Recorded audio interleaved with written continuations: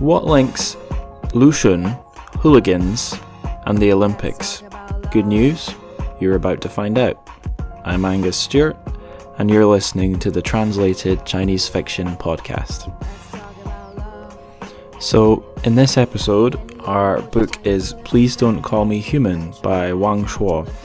Um, its Chinese name is Qian Wan Bie Ba Wo Dang Ren. Um, so that's a title that's still phrased as a request, like the English one, but it doesn't have the word please. I think the word please might just be there to indicate it is a request. Um, so its literal, the literal meaning of its Chinese name, it's just about the same as the English. Uh, it would probably be something more like don't treat me as a person, then don't call me human, if that makes sense. But I think it's still a pretty good um, conversion into English, even if the English one perhaps, I don't know, but perhaps sounds a little bit more emotional. So the edition I'm reading is probably the one that most um, British people who would go looking for the book would find. It's the No Exit Press 2005 edition that was released as part of their 18 classic crime and noir books. So it was like a, I think it was the company's 10th or 15th anniversary. So they, they released it as part of this set. Uh, so the books originally uh, from 1989 when it was published in Chinese but English editions uh, by various different publishers, probably depending what side of the Atlantic they were on, uh, didn't appear until the year 2000. So in that No Exit Press set, this one's number 14 of 18, and I had a little with in in the inside cover illustration, it's got pictures of all the covers of this set of 18, and I noticed pretty quickly upon opening it that Wang Shuo is the only East Asian author in that set. I think the only other author with that Asian name is a Turkish person. I'm pretty sure they're Turkish anyway. But yeah, just something I thought was interesting. So the translation of this edition is by Howard Goldblatt. More on him later. Interesting, uh, definitely an interesting guy in relation to this book. The cover image, if you go searching online, I'm sure you'll find it. It's a human face covered up by a red star. So definitely uh, a little bit of a loaded image there. Um, but if you think the book is going to be just a, a trail of misery about human rights in China, it's certainly not that simple. Um, yes. So taking a look at the back of the book, there are some interesting quotes here. Um, so Stephen King, when he was reviewing or describing a previous novel by Wang Shuo, said that he was perhaps it was the, the novel Playing for Thrills was perhaps the most brilliantly entertaining hard boiled novel of the 90s. Raymond Chandler crossed with Bruce Lee. Now, I love Stephen King, but Bruce Lee? What? Bruce Lee wasn't a hard boiled detective, he was a kung fu actor from Hong Kong. So I wonder if this is just the first Chinese name that popped into Stephen King's head, or whether Stephen, uh, so whether Bruce Lee emanates some kind of cool that Stephen King feels Wang Shuo has. Anyway, not not the best. I'm I'm not not the kind of guy that likes to pick things apart as quote unquote problematic, but I'm just a little bit unimpressed there. Anyway, there's another kind of uh, Western reference point on the front and the back cover. It quotes the New York Times as saying Wang Shuo is China's Kerouac. Uh, I mean, maybe, but I still don't like the New York Times. Go away. Had enough of you. So another thing about the back cover, uh, on the back it says crime fiction. So I'm guessing this book, which is not about crime really, about dodgy dealings. Yes, certainly not. It's about official dodgy dealings, not criminal ones. So I think it's got it's ended up in crime because it because of its hard boiled or noir connotations, which are maybe more from Wang Shuo than the book itself, and I reckon they're hard boiled fell under the wider category of crime, but it's really not a crime fiction book, so that's interesting too. Uh, also, on this back blurb, it just it just goes ahead and spoils the ending. I'm gonna spoil the plot on this podcast, but that's that's different. But yeah, um, without giving away the sentence just yet, it the the back blurb it, it, it tells you like the final scene of the book. Um, there's a Guardian reviewer. He's called Nicholas Lezard if you Google this book, at least on UK Google, that's one of the first pages that shows up. And Nicholas Lezard took some issues with uh, Goldblatt, the translator, and he also took issues with this blurb. Uh, we'll we'll talk about that a bit more later into the podcast. But yeah, I find it quite amusing. So this translator, Howard Goldblatt, um, he's done quite a lot of other big books and big uh, authors translated from Chinese to English. Is probably his biggest name is Mo Yan, who's a I believe he's a laureate winning, or at least a highly awarded Chinese author who's never actually been banned by the government, although perhaps if he was less prestigious, he might have been.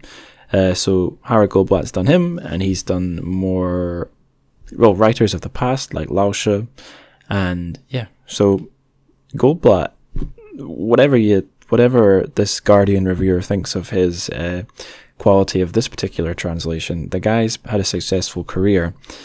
Uh, Goldblatt also wrote the introduction, uh, the translator's note for Please Don't Call Me Human. Um, so there's a few interesting things in it. Near the end, he credits Sylvia Lin, obviously Lin, Chinese lady, um, for helping him out with the translation. And if you check out Howard Goldblatt's Wikipedia page entry, Sylvia Lin is his Lin is his spouse. So I don't know if, if that was the case during uh, the time of the translation of "Please Don't Call Me Human," but it just it it does make you wonder um, how much of the share of the work she has. You know, you can have these situations where a, a, a spouse, often the wife, is kind of a power or a, a worker behind the throne, and she would be a Chinese native speaker. So, without trying to sound too cynical, I do think that's interesting. Uh, Goldblatt's introduction does do it does make quite a good move straight off the bat. It introdu- introduces uh, the concept of face, as in like saving face, which every culture has. Uh, Chinese culture is very much into it on the on the level of individuals, of groups, of institutions, but also for the country. One of the themes that Goldblatt's correctly identified in Please Don't Call Me Human is kind of saving face or building up face for the nation. Um, we'll get a wee bit more into that, I think, as we get when we get to the part of the show where I describe the plot. Uh, another thing that Howard Goldblatt does in his pretty quick translator's introduction is that he justifies the choice he made not to explain every single reference to kind of Chinese culture and society and history and also not to swap them out for Western equivalents. Um, he thinks that would destroy the authenticity of the book, basically. Uh, Howard Lezard, his Guardian critic, said it's basically lazy and it turns a lot of the book into kind of a in China in crowd book.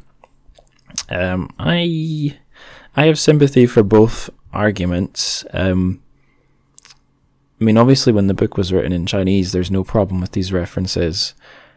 And whether or not you think all the references should be explained to Western audiences, it's it's going to depend on who you are, whether you have access to some of these in jokes. I I didn't get all of them. I got a lot of them.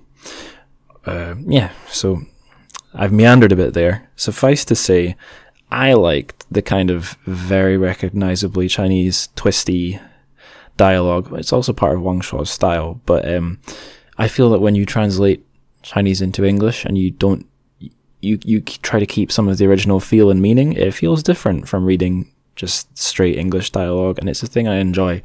Uh, and I enjoyed all the references too. Although I also kind of enjoyed not quite getting everything, because that's how you feel when you're living in another uh, country or culture. So yeah, a little bit of confusion not knowing what's going on. That's life anyway, isn't it? There is also an error in this introduction. So, right in the first page, um, Howard Goldblatt says the book uh, is kind of kicking off the 1993 awarding of the Olympics to Sydney and not Beijing, and how this was a great loss of face for the Chinese nation.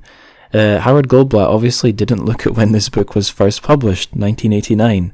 So unless Wang Shuo teleported himself into the future to 1993, there's no way he could have been reacting to Beijing being passed up for the year 2000 Olympics. I don't know. Um, that could also indicate something about the way Goldblatt did this translation. Maybe a little too quickly, perhaps. Um, but the, the, the theme of the, the Olympics and how it wins or loses face for a nation is that is pertinent to the novel. But um, yeah, Goldblatt should have done, or his publisher should have done a you know this very small amount of fact checking to avoid the error. But honestly, on my first reading, I didn't spot that. I only spotted this error in um, research for the podcast, and definitely like finding finding proper evidence of the original publication date of this book on the English language internet. Like it's not easy, um, and a lot a lot of uh, websites will just list its publication date as the publication of the first English translation and sometimes even not the first English translation. So just goes to show just a surface level a surface level Google search isn't always your friend. Sometimes you gotta sniff around. But I'm sure you already knew that. So who is Wang Shuo? That's a good question. Here I am to answer it. So first of all, let's uh, talk about this guy's youth. So he was born in 58 and he was jailed twice in the 70s. So this would be during China's Cultural Revolution wild, kind of lawless formative years. Um, to paraphrase somebody, I forget who, basically, nobody was above the law in this time except Mao.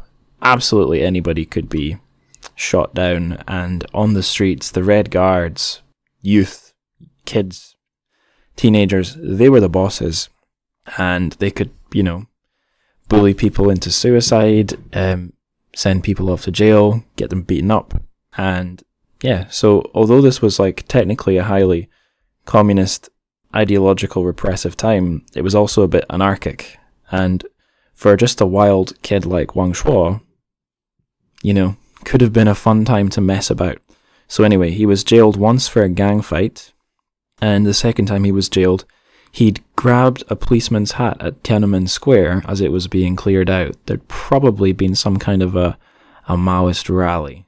Um, Tiananmen Square has historically been your place for both positive political rallies and protests. So don't ever go thinking the only time people gathered, gathered there was 1989, because certainly not.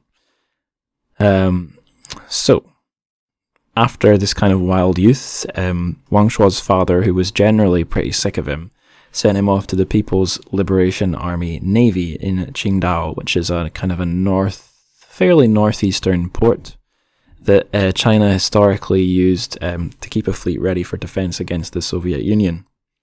Um, so Wang Shuo was there. He was never called up to service, and he had no ambitions to kind of climb the career ladder or within the navy or within the party. So he just lounged about on the beach and he womanized apparently, but never enough to get into trouble, which was basically it afforded him all the freedom he wanted. Um, in 1978, he got one of his stories published in the People's Liberation Army Literature and Art Journal. You know, one upside of communism. Do you think that the UK Army has a literary journal? Perhaps not. Maybe maybe a more bloated army like the US one does.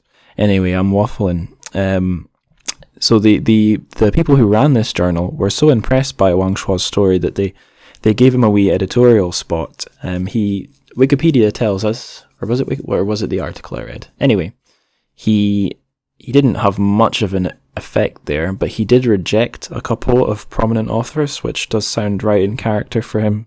Yep. So after after that spot in Qingdao, he ended up with the navy on the south coast, and some of his he and some of his navy pals ran a smuggling operation. It's just ridiculous. Um, after his smuggling operation, he kind of sleazed and laced about with a pharmaceutical company. He, I, ah, yeah, just a sleazy guy. Um, but he went kind of straight in the 80s and got published. I think it, yeah, his novels got published regularly, and he was successful enough there was quite a lot of film adaptations of his novels, and he also I don't I think it might have been in the nineties, but he also has some had some spots on a talk show on Chinese TV, and if you go on YouTube, there's bits of it up there. Um, they're untranslated though, so I I didn't watch them because my Chinese just is not good enough to be able to get anything out of those really.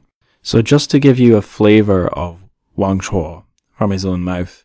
I'm going to read you a wee excerpt from a 1989 interview that a older member of China's literati did with him. So this older guy, I think, was quite impressed with Wang Shuo because according to my research, um, the style of this interview was like very mischievous.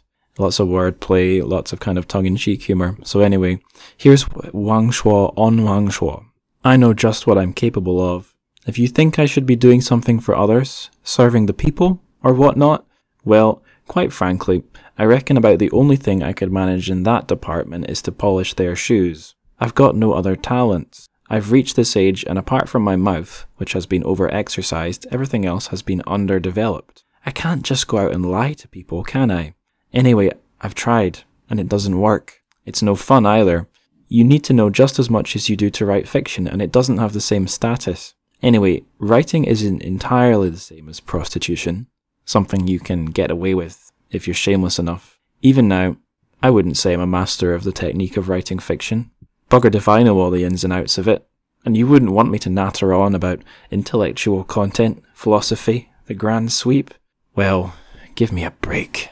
Yeah, so as you can see, a guy with no time for pretentiousness, unless, of course, this whole thing is a character he's created, which would be pretentious. But I'm, I'm pretty sure he's genuine. Also, the the way he's speaking here in this interview, although bear in mind, is it is a writ. It was it was published as writing, not as spoken word, so it might be tailored a bit. But anyway, this mode of speech is pretty similar to how um, how Wang Shuo's characters speak. So yeah, an- another wee fact, maybe about his lifestyle that is is interesting, is well, it's it starts with the fact that in China you can be a state-funded writer.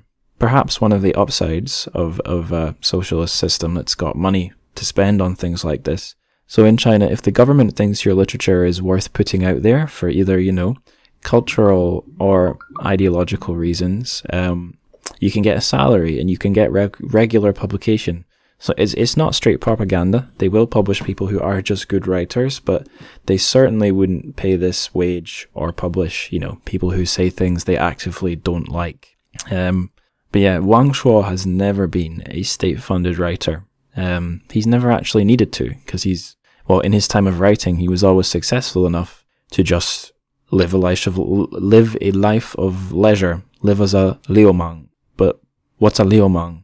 So for this podcast, I read an essay on so-called liumang culture or liumang wenhua. But um, what is a liumang? Well, basically the word means hooligan, um, but it's it has a has a broader kind of cultural meaning within China, especially after the end of the Cultural Revolution, when the uh, uh, after the death of Mao, when the country began to open up in the nineties, what you might call like a slacker culture or some kind of counterculture started to emerge, and it was certainly like a mostly a male kind of basically the Wang Shuos of the world felt quite free and were able to exercise their freedom in this kind of new, strange, dislocated China. So one of the first scholars who at least Western scholars, um, who suggested that this Liumang thing might have some broader significance was John Minford. He was writing in 1985. So, bearing in mind this is a Westerner looking at China, here's what he said. On this post Mao wasteland, a strange new indigenous culture is evolving, which could, perhaps a little provocatively, be called the culture of the Liumang, an untranslatable term loosely meaning loafer hoodlum, hobo, bum, punk. The original Liumang is to be seen cruising the inner streets, inner city streets on his flying pigeon bicycle, looking somewhat lethargically for the action, reflective sunglasses flashing a sinister warning. Liumang in everyday speech is a harsh word. It's the word for antisocial behavior, a category of crime. So I'll just jump in here and say there's another famous Wang Shuo, at least in the Western world, a, Wang, a famous Wang Shuo book playing for thrills, and the edition I have um, has got a picture of a guy wearing sunglasses on the cover. And from what I've gathered, I've not read my copy of this book yet, but Playing for Thrills is much more of a textbook Liumang book than um, Please Don't Call Me Human is. We'll, we'll get to we'll get to that later. But yeah, it's um, certainly an interesting way of looking at how Wang Shuo has been understood, um, especially in the Western world, in the way he's kind of marketed and presented, and the fact that a, a company like No Exit that kind of publishes a lot of liter- slightly literary pulp picked him up. Definitely an interesting thing to consider. So this idea of Liu being a cultural or psychological thing as well as just a hooligan, this wasn't a new idea in the 80s. Chinese literati had talked about it before. So I mentioned Lu Xun at the start of this show, and here's something Lu Xun's brother, Zhou Zuoren, remember Lu Xun was a pen name, he was really from the, the Zhou family. So here's something Zhou Zuoren, his brother, said in a famous essay. He said, Two demons live within me. One is a gentleman, the other a liumang. I love the attitude of the gentleman and the spirit of the liumang, and I was able to glean that the word he was using for demon was gui. So two demons, lianga gui. Uh, gui can mean ghost. It can also mean demon. It does have this kind of malicious, uh, sometimes perverse or wicked connotation. So yeah, there's there's the Lu Xun link, the way episode one of this show links up with episode two. If you follow Chinese news, you'll know about the death of Liu Xiaobo. I think that was last year. So if if if you're not familiar with Liu Xiaobo, he was a literary critic who said things the Chinese government didn't like. I believe he wrote about human rights. Uh, so he's been in the news in the last few years because of his uh, decline and the way the Chinese government handled it, letting him kind of basically die of cancer in custody. Um, pretty sad stuff. But back in the previous decades, Liu Xiao, Xiaobo, um, well, for, for, of course, his whole lifetime he was writing interesting stuff. But um, back in the time of the Liumang, he had a he weighed in on the question of this kind of slacker culture that had emerged in, in, in literature and life. So here's what Liu Xiaobo had to say about Liu Mang. He said, Who are these protagonists? Are they models of decadence and cynicism? Are they descendants of the superfluous people and derelicts that appear so often in Chinese and Western 19th and 20th century literature? Are they a contemporary Chinese mutant form of the absurdists, Dadaists, black humorists, and beat generation of modern and contemporary Western culture? It would seem that they contain elements of all.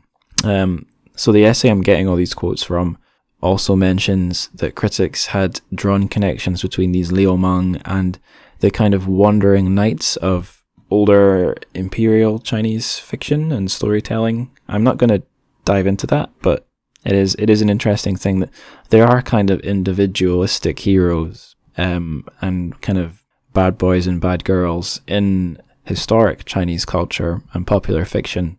Although you know the the stereotype of China is that stories are more collective. Um, these kind of offbeat outsiders, they are part of the literary tradition. So just throwing that out there for you. So it's probably about time I should explain the plot of this book. I'll, I'll just give you like the basic premise and then kind of the three main plots or character arcs, if you like, that make up the story. So the basic premise is that a committee, a government committee is formed and they try to give themselves a cool new name to inspire people to feel great about Chinese sporting and sporting athletes and achievements. So in the English translation, the name they came up with is the Mobilization Committee or MobCom, MobCon for short. It's pretty pretty nice work there by the translator. And the MobCon, they they're looking for a boxer or a fighter because they've heard about a video that's gone the rounds of this basically big blonde haired, blue eyed guy, aka a Westerner, beating up uh, a series of Asian combatants. And it, it's interesting to note, I think, that the mob mobcon kind of conflate all these fighters of an Asian appearance. They're like, oh, this is a great insult to China. Although technically, the book does not tell us those fighters were Chinese. That's probably meant to be look like an assumption on their part, but who knows? It could have been Wang Shuo also made the same conflation. I may be dipping my toes into water here, I don't quite understand. But yeah, the book doesn't specify these factors are Chinese. It just says Asian, and it just says this big bad guy is, I think it might specify he's French actually. I think we might get his nationality. In any case, that's not the point. The point is he's a big Westerner and he's just humiliated to the East. And it's demoralizing, or so MobCon think. So they need to find a way to get a great dream fighter for the Chinese nation for the next, next Olympics and they do some hunting and they find a descendant of one of the boxers from the Boxer Rebellion, um, which I'll just give a really, really, really, really condensed version of, of them. So at the time when Western influences were at their height, at the end of the last imperial Chinese dynasty, there was a rebellion in the north of the country, um, a totally grassroots one, where these kung fu fighters mostly rose up um, against the various Western colonial powers and the Japanese, who were pushing the people around, and they got absolutely flattened. But they they put up enough of a fight for long enough that they kind of have gone, gone down in official Chinese history as heroes. So anyway, MobCon source out one of their descendants, who's this just kind of Liu Mang kind of guy, and that's so that's probably the first two plots. We follow the members of MobCon a lot, and they're they're totally just parodied. The way they speak is like this weird officialese. They kind of speak in the way that the gov- Chinese government and party would do their official statements and press releases.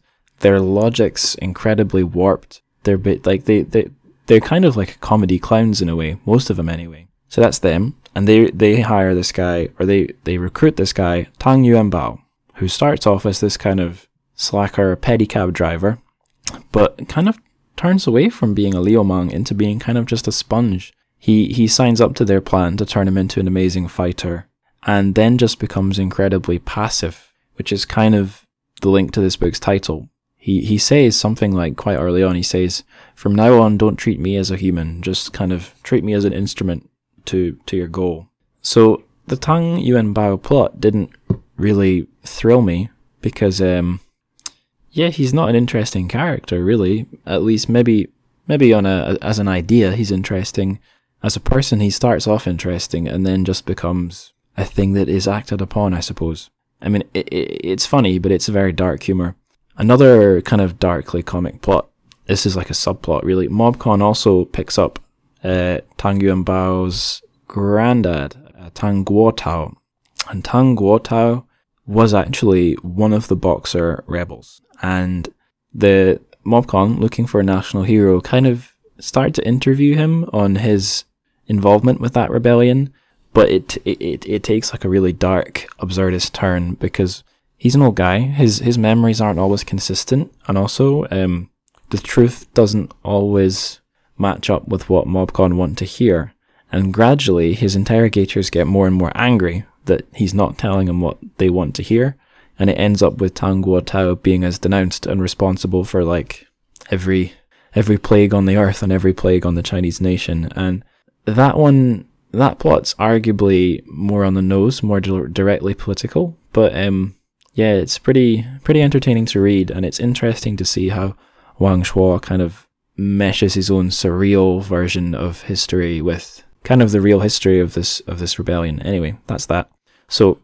Uh, the, the the plot concludes with Tang Yuanbao, the the younger guy who used to be the pedicab driver, just submitting to more and more humiliations there's there's there's a part that's not very PC that certainly wouldn't go down well if the book were republished to acclaim in this day and age, um, where the MobCon realize that they're going to have an easier time if, or there's there's some contorted reason why they think they can benefit if they get Tang Yuan Bao into the women's Olympics. So they they send him to a women's dancing school. They quote unquote feminize him very heavily, and then eventually he's he's um, castrated, which sounds like it would be the absurd conclusion, but actually the kind of wild conclusion that's revealed on the blurb is that in when when Tang Yuanbao finally gets to the Olympics, all the athletes just start humiliate physically humiliating and degrading themselves as a show of their commitment. So it's not just the Chinese who do this, but Tang Yuanbao knocks it out the park by just ripping his own face off and kind of wins the Olympics. So gives you a sense of how much realism there is in this book. It's um it's supposed to be absolutely ridiculous. So I'd rate this novel four out of five destroyed members of the Tang family, or eight out of ten Liumang, uh, eighty out of hundred committees. Hmm. 800 out of a thousand ripped off faces. Alright, so to evaluate it a bit more seriously, um, I mentioned before, I really like the kind of, I wouldn't call it sassy dialogue, but like very indignant, spiky, uh, sometimes kind of strangely convoluted dialogue. I honestly enjoyed that. Um, it's got some really good one liners too, both in, in the dialogue and the narration. sometimes it's just it, it's a very sneaky reference to something. Sometimes it's just a completely absurd turn of phrase. Um, it, this is probably good work by the translator because I I have read that the way Wang Shuo parodies kind of the official communist speak, let's say, of the Chinese government is pretty genius. Obviously, a lot of that is going to be lost in translation. But yeah, there's just, there's just turns of phrase here in this English translation that brought me joy, sparked joy, you might say. Yeah, uh, I think it's a brave book as well. It, um, so granted, although we think of 1989 as Tiananmen Square, that happened in a context where the 80s there was ever increasing kind of social liberation and freedom in China. So a book like this probably wouldn't get published in today's China. Um, regardless, I think it is a pretty brave thing for Wang Shuo to write. It's it reads as a really big kind of middle finger to the way his own government uses and abuses nationalism, nationalist fervor, um, history, um, history that predates their own time in power, mind you, and even the formation of the party. They'll they'll yeah, I, I won't I won't dig into that. And like I said, they're they're officialese. It's not a book that's super strong on uh, its own characters. They're mostly just kind of cardboard cutouts, comedy characters. Um, the plot the plot feels like it's kind of just moving in the same way. Tang Yuanbao just gradually gets more degraded. They get closer to the Olympics. It's not a super gripping plot, but the content is I just said content, I'm sorry. Anyway, the contents of this book are enjoyable if it's your thing. It's also just a very surreal book. Um, I was considering writing up a list of strange things. I did not, but I, I do recall there's one scene where they take um they take Tang Yuanbao to uh kind of like a shaman lady, and I think the fact that Tang Yuanbao he's he's technically not ethnically Han. I think he's from one of the northern quote unquote barbarian ethnicities of China. And this gets played on because the um, shaman lady, she either thinks herself or Tang is possessed by the spirit of Yue Fei, who, if I recall correctly, he's he was a general of the Chinese Song dynasty, which kind of fought a long, slowly losing war against northern invaders. And it's just a really strange scene. This old lady's like threatening to destroy him and tying him up. And yeah, so that's just one of many strange moments in this book, which, glancing at its cover, you might think it's some gritty expose on human rights abuses in China. Really, it's not that. It's honestly more about face and nationalism and degradation and ab- absurdism. An awful, a, a, great big spoon of absurdism. Right. So I've got a couple kind of closing points. Um, one's on freedom and censorship. So I've gone looking for evidence online to back up my claim or other people saying the same thing. I didn't see any. Then again, I didn't look for very long. But I have heard this mentioned by, um, let's say, China Hands on podcasts, and it is something I felt I noticed myself. So it's about what I want to say is about freedom and censorship in Chinese literature, i.e., books, versus on the internet, film, and TV. So China's not so different from the Western world. Who watches TV and films? Everybody. Who reads books? Not everybody. Is there a divide based on your education? Absolutely. Is that divide kind of rooted in class? Yeah, of course, very often. So, and also the numbers. The numbers of people who read regularly are way below the everybody who goes online and watches films. So films that can get made and released in China are pretty hemmed in by what's acceptable. I mean, it's there are films made about social issues, not as many as there would be in the West, but you certainly can't go taking shots at the government. Or if you if if you do, like um, was done by Feng Xiaogang in the film "I'm Not Madame Bovary," Wu Bushi Pan Lin Jian, it would be at corrupt officials, not at the guys in charge because um, there is there has been a purge against corrupt officials going on for a while. Anyway, um, the Chinese internet is notoriously censored. It's so censored that as has filtered through to the Western world. We we know about the ban on Winnie the Pooh. That's a real thing. Um, huge numbers of websites are blocked. Huge numbers of terms are monitored, and it's it's a very attentive censorship. Things are can be things can be cut off as soon as they happen But in the world of books, you can say and write and publish plenty things that might not be acceptable online. So all all of this is a little bit irrelevant because um, Please Don't Call Me Human is from 1989, before the internet basically, and in the early years of Chinese internet, it wasn't censored, and even when the censorship began, it was at a level far below what it's at now. But yeah, just just thought I'd say we might be looking at things you wouldn't expect would get published in China in this podcast, but actually, books books are um, a lot more free than other more popular media. Not to say they're free, but just something to bear in mind. Okay, so another thing that will be probably mentioned on other shows um, is about Western tastes. So, what books the or what books from China the Western market see are perceived to be willing to buy, and how that determines what gets translated. Um, so this is just my two cents. Feel free to disagree. Feel free to reply. But I think a lot a sin that a lot of Westerners commit is thinking that everywhere in the world wants to be like the West. Iraq, look at that. Libya. Even if a country wants to be free, doesn't think it thinks that the light shines out Western countries' bums. And I think you can kind of see this in the Chinese fiction we publish, as well as foreign policy. Um, so what I'm trying to say is there's quite a lot of um, Chinese writers who get translated who are edgy or banned or rebels. Wang Shuo is one of those. And there's, of course, there's nothing wrong with that. It's great that these guys are being read outside the country. I just think it is tickling an itch that Westerners seem to think that if a country has a government like China, the people there will be absolutely yearning for freedom with every breath and thought. But anyone who's lived there will know it's just not the case. Um, if you are if you're in a situation where the government are limiting your freedom, but you have a good life, sorry, human nature isn't to fight the good fight. If if you're being provided a nice life, most people won't really have an issue. Go there yourself, check it out. Ask people when they're planning to overthrow their government, and you'll be they'll they'll get mad at you. So to illustrate my point a little bit, I'm gonna quote from the essay I've been drawing a lot of my quotes from for this episode. So it was uh, an essay on Wang Shuo and Liu Mang, or hooligan culture, by Geremie Barmé. It was published in the Australian Journal of Chinese Affairs in 1992. And here is the quote. So it's regarding another one of Wang Shuo's novels, not Please Don't Call Me Human, uh, a different one. So here, here, here we go.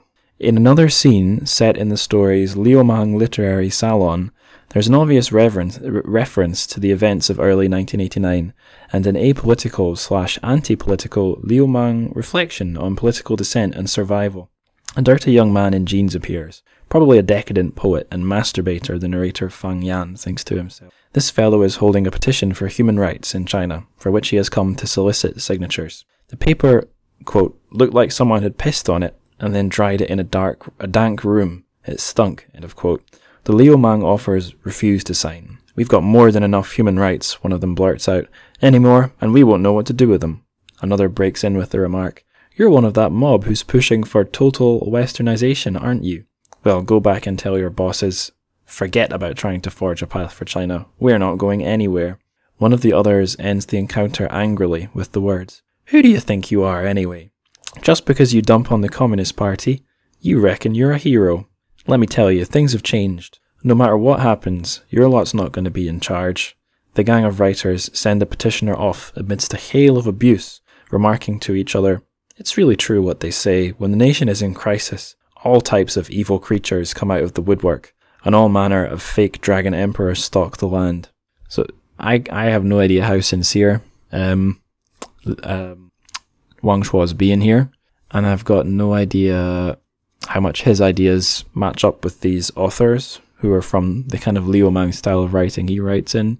But yeah, honestly, don't don't go thinking that everyone wants to live like a Westerner lives. It's certainly not the case. So just because Wang Shuo's a rebel doesn't mean he's your kind of rebel. So just before we get to near the end of this podcast, I'd like to read a wee passage from Please Don't Call Me Human because I think it's really great and it gives you a great flavor for the officialese. Yeah, it gives you a little taste of the officialese that um, Wang Shuo uses in this book for the members of MobCon. So this in this part of the story, it's early on, and they've just come up with the name for MobCon. So before this, they don't know what they're going to call themselves. So I'll just I'll just kick right ahead. I've got an idea how we can start it, the corporate manager said. Tell me what you think. The National People's Mobilization Salvation through Loyalty and Virtue, the agricultural entrepreneur volunteered. The National People's Mobilization for Salvation through Loyalty and Virtue. No good, Zhao Hangyu said somberly after a momentary reflection. National salvation? Which nation? Salvation from what? Our nation's doing just fine, thank you, and getting better. What you're proposing smacks of scare tactics. Don't ever forget that we're in the entertainment business. The nation's in fine shape, everyone has plenty to eat, and leisure is the logical result. That you've invested in our enterprise proves not only that you've got plenty to eat, but that you're, that you're in the lap of luxury, doesn't it? Then how about move toward the world, a private businessman said. The National Mobilization Committee to move toward the world. That's no better, too vague, the presiding officer said, taking his cue from the look on Zhao Hangyu's face. If I'm not mistaken, there's already a 21st Century Committee or something like that. Here's what I think we should do, Zhao Hangyu said expansively, a broad grin on his face. Since we can't come up with a name that reflects what we're doing, why force the issue? We can call ourselves the, Nationalize- the National Mobilization Committee. No one has to know what we're mobilizing for. Keeping it ambiguous has two distinct advantages. First, it makes it hard for outsiders to figure out what we're up to. Second, it opens up all sorts of possibilities, since virtually anything we want will fall under the umbrella. That, in turn, will unify people from all classes and walks of life. Let others try to figure it out, the presiding officer asked with a giggle. Old Zhao's got my vote. There you go. I, I, I love it. And with that, I'll draw the show to a close. So, as ever, if I've got anything wrong, if you'd like to disagree, if you'd like to agree, if you'd like to share your thoughts, then you can zap me a message through the social media links I'm going to put in the show description. Um, I'm also going to link to the Liu Mang culture essay that I got a lot of my quotes and information from. And I am not going to put a link to this text up online because guess what? It's still in copyright. However, interesting fact if you search the Chinese name, you'll find lots of Chinese sites that have the book uploaded chapter by chapter. I guess that's a, an interesting difference between uh, the Western book market and the Chinese book market, where in China copyrights just aren't as protected, for better or for worse. Uh, anyway, I'm waffling, so for now, bye bye. 还有，再见，我的哥们。